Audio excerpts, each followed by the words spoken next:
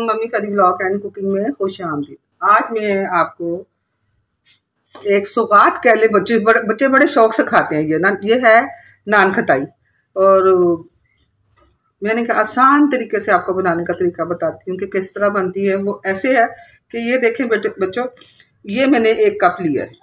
इसी कप की सारी मैंने पैमाइश की है। इसी कप से मैंने एक कप ये मैदे का लिया ठीक है? इस मैदे को मैंने इस तरह इसके अंदर छाननी में डाला। छानना लाजमी होता है वो इसलिए कि इसमें ना वो हो जाती इसको छानना इसलिए ज़रूरी है बेटे कि इसमें ना बाज़ का कीड़े भी निकल आती हैं सुस्टी वगैरह, सुंडी वगैरह और गुठलियाँ भी होती हैं, कोई चीज़ वगैरह होते हुए निकल आती है। अब देखिए छोटे छोटे से आपको जरे आ रहे हैं। ये निकल आए ना। अब एक कप मैंने ये लिया है मैदे का और दो चम्मच मैंने बेसन के लिए लिए हैं, दो चम्मच मैंने सूजी के लिए लिए हैं। आधी चमची मैंने बेकिंग पाउडर के लिए और एक चुटकी मैंने सब्ज़ इलायची को ग्राइंड कर लिया है। दो तीन इलाचियाँ लेके वो ये मैंने डाली हैं। अब मैं इनको डाल रही हूँ। बेसन को भी और इसको भी छान लेती हूँ। बेसन में भी बाज़ गुठलियाँ बनी होती हैं और अक्सर आपको पता है कि बेसन में भी निकल आता है। गंद को कीड़े मकोड़े बरसात के मौसम में भी होते हैं वैसे भी होते हैं। सूजी में भी निकल आती है। तो ला, लाजमी ये जो चीज़ें हैं इनको आपने छान के डालना है ठीक है?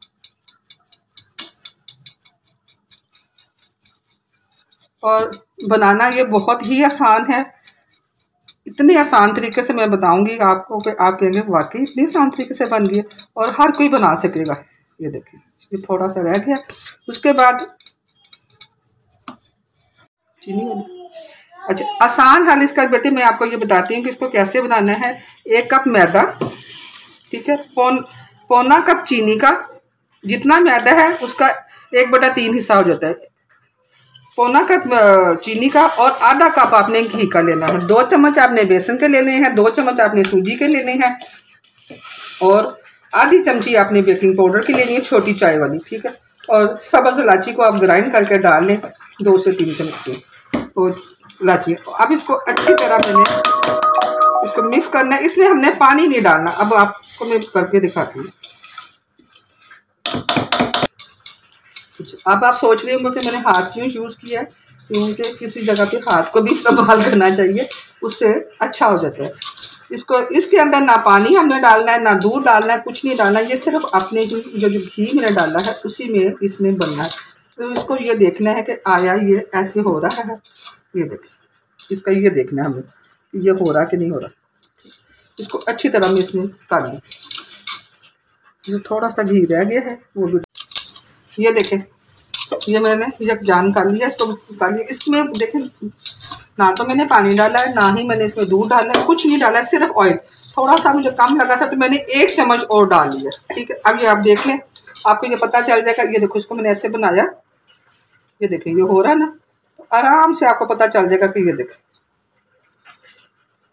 हमें यही चाहिए था, इसी शेप में चाहिए था। अब मैं आपको बना कर दिखाती हूँ कैसे करना उसके लिए ये है कि मैं कोई सा भी चम्मच हो, आप ले लें। मैंने ये छोटा सा चम्मच लिया मेरे पास। इसी से मैंने इसको, ये देखें, ऐसे कर लिया। ये मेरे पास आ गया। अब मैंने हाथ पे हथेली पे रखा इसको और आराम से, आप छोटी भी बना सकते हैं और बड़ी भी बना सकते हैं। और मैं थोड़ी सी छोटी बना रही हूँ इसलिए कि ये इसलिए जी कि पैमाइश करेंगे तो एक जैसी आएगी। थोड़े से चुटकुले छोड़ देते हैं ताकि बच्चे खुश हो जाए। और इसको नीचे लगाने के पेपर शेपर रखने की भी कोई ज़रूरत नहीं, क्योंकि इसके अंदर ऑलरेडी हमने पहले घी डाला होता है वही काफ़ी होता है। ये सारे ही इसी तरह हमने बनाने हैं, इसी तरह लेके और बना के तो मैं अभी आपको सेट करके सारी दिखाती हूँ, ये देखें। आसानी से बनते जाती हैं, ये देखें। तो ये सारी मैंने बना ली और ये मैंने बादाम बरी बरी काटे थे और ये इस तरह मैंने इनके ऊपर लगा दिए। ठीक है? ये देखें। और आप सोच रहे हो ये छोटा सा क्यों, ये ज़रा सा बच गया था, वरना एक खताई ज़्यादा बड़ी बनी थी। मैंने कहा, चलो छोटी सी बना लेते हैं। कोई बच्चा खुश हो जाएगा। चलिए जी, सारे हो गए हैं कंप्लीट अब क्या करना है? अब ये करना है कि मैंने खाली अंडे की जर्दी ली है, ठीक है?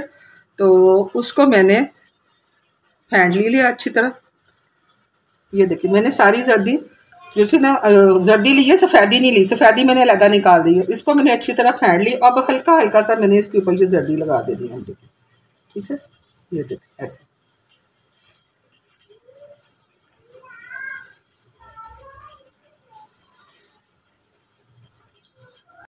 ये देखें सबके ऊपर मैंने जर्दी ब्रश के साथ लगा ली है। ठीक है? अब मैंने इसके अंदर मैंने ये देखें स्टैंड भी रखा हुआ था। ठीक है? अब बड़ी प्याज से पकड़ के मैंने इस ढकने को उसके ऊपर रख देना पंद्रह से बीस मिनट करीब कम अज़ कम पंद्रह से पंद्रह मिनट लग देंगे उसके बाद हम इसे चेक करते हैं। ये देखें, सारा मैंने देश के अंदर ये प्लेट रख दी है इसके ऊपर सारी मैंने रख दी। अब मैं इसको धाम देती हूँ। और आँच मैंने देखे, बिल्कुल हल्की कर दी है, ये देखें। लाइट से। बिस्मिल्लाह ये देखें जी, हमारी हो गई है नान खताई तैयार ऊपर कलर आना शुरू हो गया, हल्का सा थोड़ा सा मेरा ख्याल और टाइम दे ले। और उसके बाद मैं इसको निकाल के तो आपको दिखाती हूँ, इसको गरम गरम नहीं निकालना। जब ये ठंडी हो जाएँगे तो फिर निकालेंगे, अगर गरम निकालेंगे तो क्योंकि ये नरम होती हैं तो टूट जाएँगी। ठंडी होंगी तो फिर डिश आउट करके दिखाती हूँ। ये देखे हाथ पे मैंने कपड़ा रुमाल लपेट के इसको इतिहास से ये देखे निकाला उसका कलर देखे माशाल्लाह कितना खूबसूरत आया। अब इसको मैं निकाल के ऐसे रख लेती हूँ। जैसे ही थोड़ी सी मेरी प्लेट ठंडी होती है तो फिर मैं आपको प्लेट में निकाल के दिखाती हूँ। गरम गरम निकाला तो ये टूट जाएँगी। देखिए अब ये मेरी प्लेट देखिए बिल्कुल ठंडी हो गई है। होगी ना इसको आराम से आप यूँ करेंगे तो इजीली ये उतर जाती है। ये देखें कलर देखें माशाल्लाह इसका कितना खूबसूरत आया है और फ्रंट से भी देखें। ये देखें, ठीक है? मैं सभी का कलर जो है ना देखें, हर खताई कटाई का ये देखें नान खताई। माशाल्लाह माशाल्लाह, बहुत ही खूबसूरत बनी है। ये मैं आपको आपको डिश आउट लीजिए ये मेरी घर की नान खटाई तैयार हो गई है। और ये देखिए हमने खुद घर में बनाई ना, हमें पता है कि हमने क्या बनाया है। और ये क्या क्या चीज़ें इसमें डली हैं, कैसी हैं। और सफ़ाई का भी ख़ास ख्याल रखा गया है। और खस्ता इतनी ज़्यादा है कि मैं आपको तोड़ के दिखाती हूँ कि देखें कितनी अच्छी है खस्ता। देखें दोनों साइडों से, और माशाल्लाह, ये देखें। ये देखें। जैसे करेंगे, ये टूटती जाती है, ये देखें। बहुत ही खस्ता बनी है, और बहुत ही लजीज बनी है। उम्मीद करती हूँ कि ये आपको मेरी रेसिपी पसंद आई होगी। बनाइएगा ज़रूर लाइक कीजिएगा शेयर कीजिएगा, और प्लीज़ सब्सक्राइब लाजमी किया करें। आप वीडियो मुकम्मल पूरी देखा करें। मुकम्मल देखेंगे तो आपको पता चलेगा कि कैसे। हो देखें मैंने कितने आसान तरीके से आपको बताइए नहीं, ये मैं नहीं किया कि इसको अलग रखूँ, इसको ऐसे करूँ ऐसे करूँ। नहीं, एक ही दफ़ा सब कुछ डालो, जल्दी से बना लो। मैंने आपसे कहा था ये मेरा आपसे वादा था कि मैं आपको आसान तरीके से रेसिपी या बताया करूँगी, और वही है कि मैं आपको बता रही हूँ। तो उम्मीद है कि आपको ये मेरी पसंद आएँगी, और मुझे बताया करें। और दुआ में याद रखा करें, जो देश में, परदेश में जो भी हैं, अल्लाह ताला उन सबको सेहत तंदरुस्ती दे जो बीमार हैं उनको भी सेहत तंदरुस्ती, जो प्रदेश में कमाने के लिए गए हैं, अल्लाह ताला उनके रिजक में इजाफा करे। और दुआओं में याद रखिएगा, मेरे लिए भी मुझे अल्लाह ताला बिस्तर की मुताजी से बचाए। इसके साथ मैं आपसे ज़्यादा चाहती हूँ कि अल्लाह हाफिज़।